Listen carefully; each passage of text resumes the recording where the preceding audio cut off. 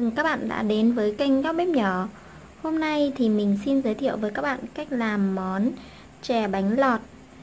Chè bánh lọt là một món chè ngọt, ăn lạnh. Món chè này rất phổ biến ở khắp Đông Nam Á. Để bổ sung vào danh sách những món chè của mùa hè năm nay Các bạn hãy làm thêm món chè bánh lọt này để cùng với người thân gia đình mình thưởng thức nhé để làm được món bánh lọt này thì các bạn cần chuẩn bị cho mình khoảng 90g bột à, gạo tẻ 30g bột năng 30g đường à, khoảng 10 cái lá dứa hay còn gọi là lá nếp đấy và 30ml nước thì khoảng chừng hai bát con nước và một chút xíu muối nhé Bây giờ chúng ta sẽ cùng nhau làm món bánh lọt lá dứa này nhé. Đầu tiên lá dứa thì à, các bạn sẽ cắt thành những cái à, đoạn nhỏ. Sau đấy mình cho vào máy xay sinh tố. Xay.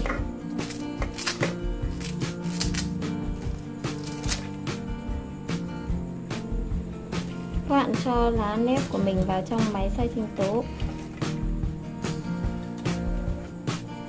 Các bạn cho nước vào. Các bạn cho nước mình đã chuẩn bị sẵn là 300ml nhé sau đấy ờ, mình sẽ xay lá nếp của mình ra. Sau khi xay thì ờ, các bạn lọc qua dây để ờ, mình được nước lá dứa có màu xanh đậm như này nhé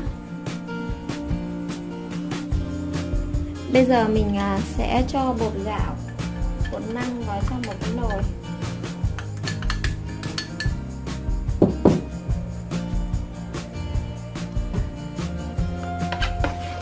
Mình trộn đều lên.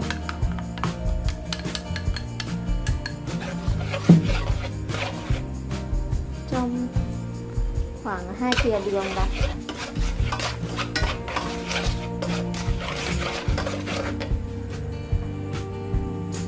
các bạn cho một chút xíu muối.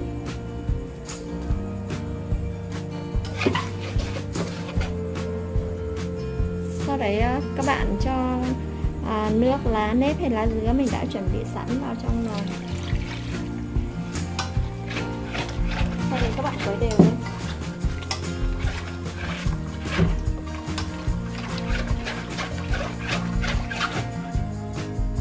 Mình sẽ lọc bột qua dây để à, loại bỏ những cái cặn đi nhá.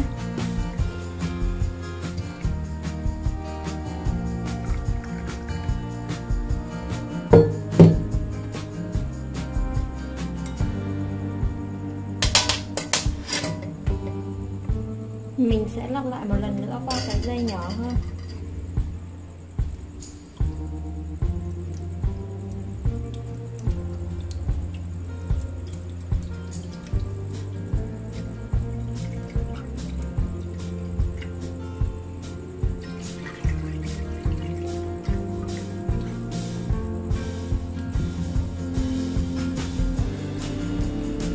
Bây giờ mình à, sẽ cho nồi bột lên bếp và đun sôi các bạn vừa đun sôi vừa quấy đều tay nhé.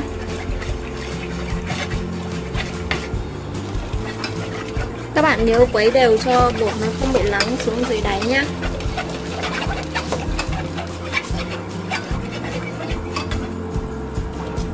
khi bột của mình à, bắt đầu đặc lại, các bạn cho nhỏ lửa xuống nhé.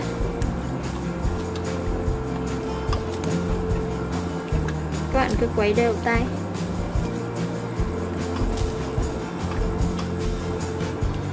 Nếu các bạn à, thích màu à, xanh hơn thì các bạn có thể cho một chút à, cái phẩm màu xanh vào.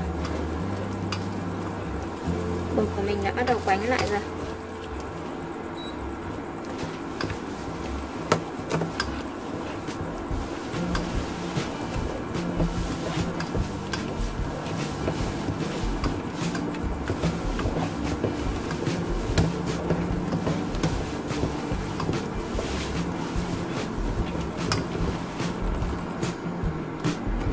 các bạn có thể dùng bốn cái đũa như này.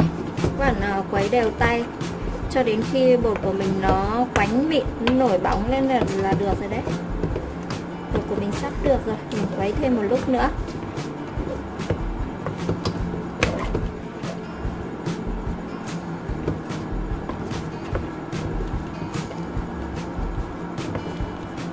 Các bạn nhớ à, công đoạn này các bạn cho nhỏ lửa xuống thôi nhé để cho bột nó chín đều.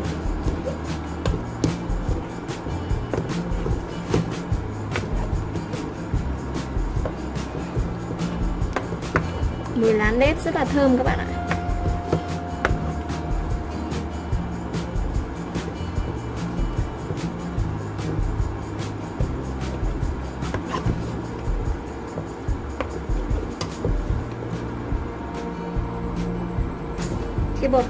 Phồng lên như này nó là nó đã chín rồi đấy. Bây giờ mình sẽ tắt bếp nhé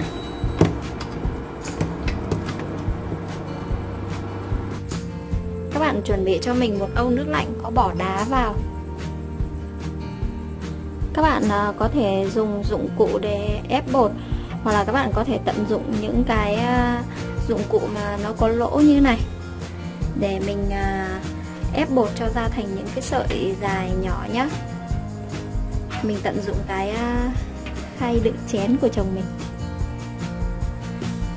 Bây giờ mình sẽ cho bột ra ngoài khay.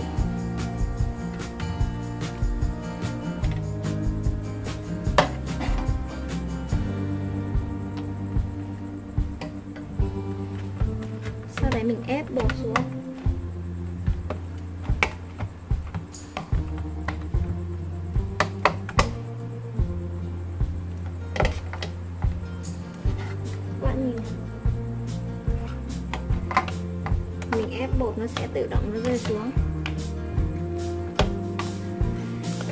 dụng cụ ép bột thì à, cái sợi bột của mình nó sẽ được dài hơn nhé.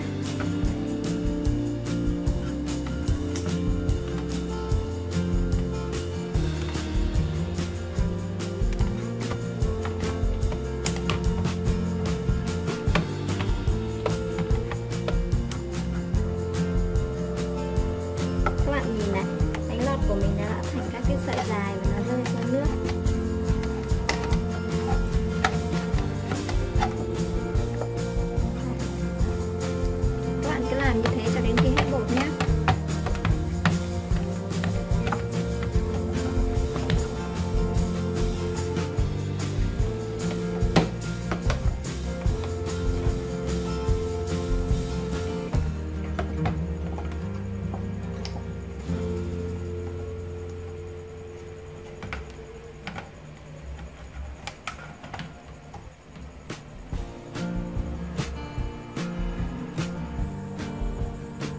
Bạn, cứ làm vậy cho đến khi hết nhá. Vậy là mình đã có được những sợi bánh lọt rất là ngon rồi này. Tuy không được dài như thể là mình ép bằng khuôn, nhưng mà cũng rất là hấp dẫn, phải không? Bây giờ các bạn à, sẽ vớt vào à, một âu nước đường. Mình chuẩn bị sẵn nhá các bạn chuẩn bị cho mình khoảng à, nửa bát con nước sau đấy pha với khoảng một thìa đường các bạn pha hơi nhạt nhạt thôi nhé à, sau đấy mình cho bánh lọt vào. Các bạn có thể à, ngâm bánh lọt trong nước đường và để trong ngăn mát tủ lạnh mình có thể dùng dài ngày được. Mình sẽ vớt bánh lọt cho vào ong nước đường mình đã chuẩn bị sẵn.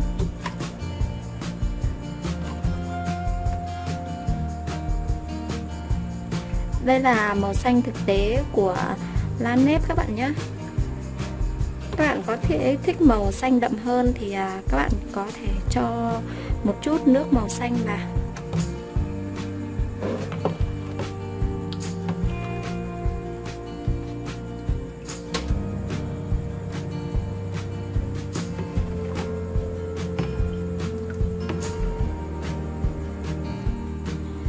Bánh lọt này, các bạn có thể ăn với các loại chè, rất là ngon. Hôm nay thì à, mình sẽ ăn à, bánh lọt kèm với đậu đỏ và nước cốt dừa. Bây giờ mình sẽ trang trí ra cốc nhé.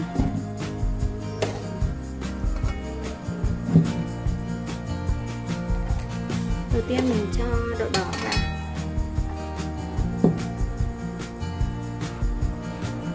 Tiếp đến mình cho bột lọt mình đã làm vào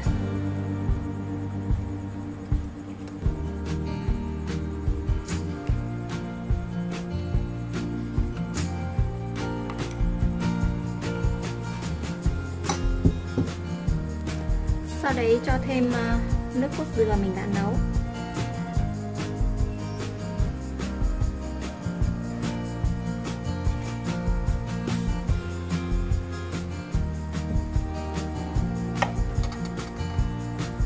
Các bạn cho thêm một chút nước cốt dừa màu trắng lên trên nữa.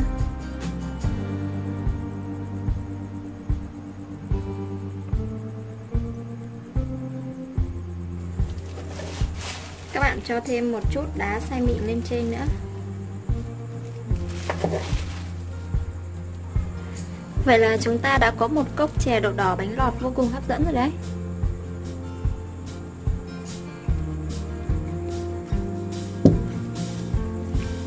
Các bạn quấy đều lên và thưởng thức thôi.